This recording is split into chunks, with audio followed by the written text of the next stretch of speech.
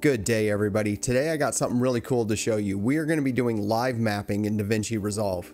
So what do I mean by live mapping? Well what I mean is we're going to be creating a masking set within Resolve without having to use any sort of pre-drawn map that we import in. So I'm going to show you exactly how that works, but I need to let you know that this requires Resolve Studio, which means you have to purchase the license for it. This doesn't come in the free version.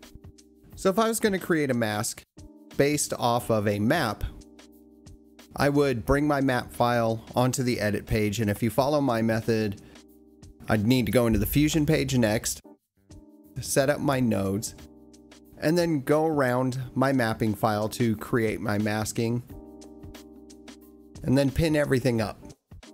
And there's nothing wrong with using a map to create your masking. It's sort of the standard because it works.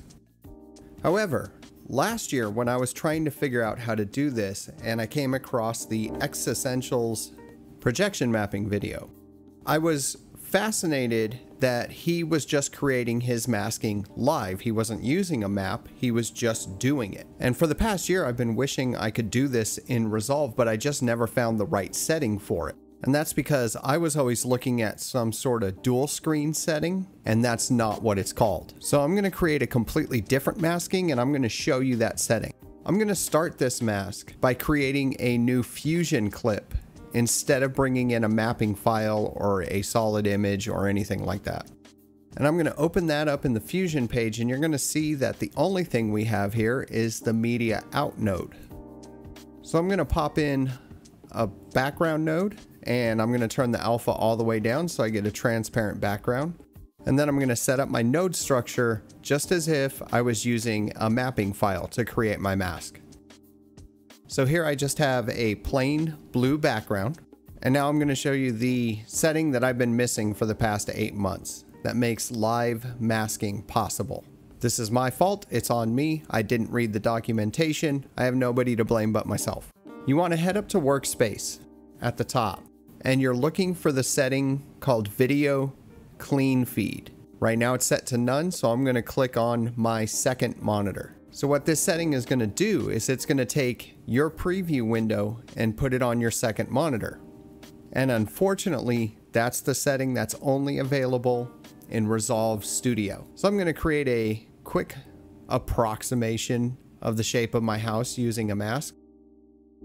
And on my second monitor, it shows full screen in real time what I'm doing with the masking and the effects that I put together.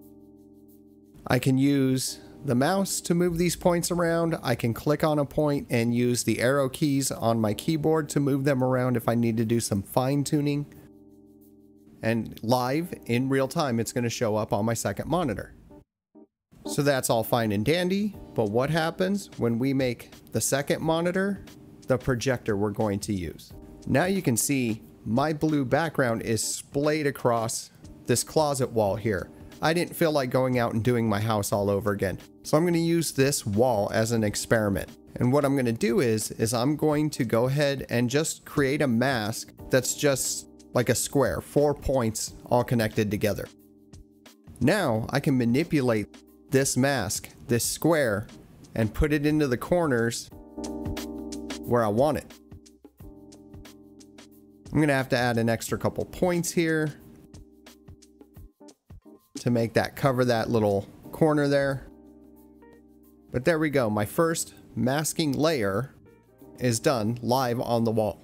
Let's go ahead and do the closet door while we're here. Why not? Same thing. This time I'm going to make a red square using a red background and a polygon mask. And I'm going to stretch that out over the closet doors. And since I'm here, I might as well mask out those little panels on the doors. Here you're going to notice a difference in the coloring between what it's showing in Resolve and what it's actually projecting. My projector is calibrated to look good on the vinyl siding of my house, not this closet door. And I didn't really feel like messing with my projector settings just for this little experiment. So at this point, I'm going to montage the rest of this masking just so you can see what the end product of masking this entire wall will look like. And then I'll throw some effects in it. Why not? Let's see how that looks.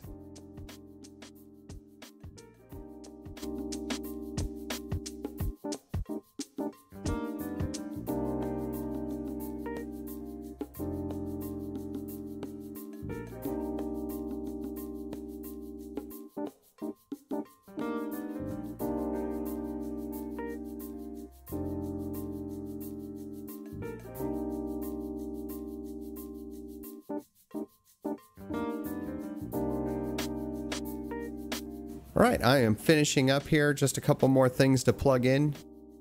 Nothing special on these effects. Now this isn't going to be a coherent show, but let's see how it looks.